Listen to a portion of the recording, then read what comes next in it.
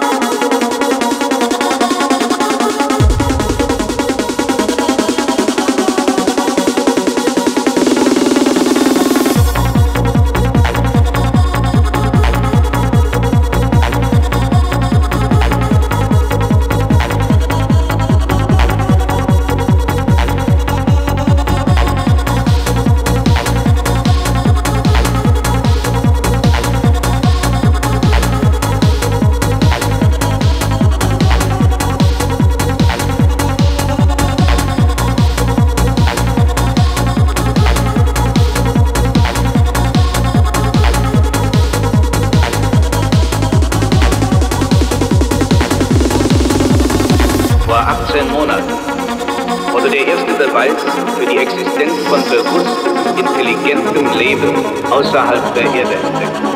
Wir fanden auf dem Mond einen schwarzen Monolithen, der 15 Meter unter der Oberfläche in der Nähe des Kraters Tycho vergraben war. Außer einer sehr kräftigen Strahlung, die auf Jupiter gerichtet ist, bleibt der 4 Millionen Jahre alte Monolith völlig inaktiv.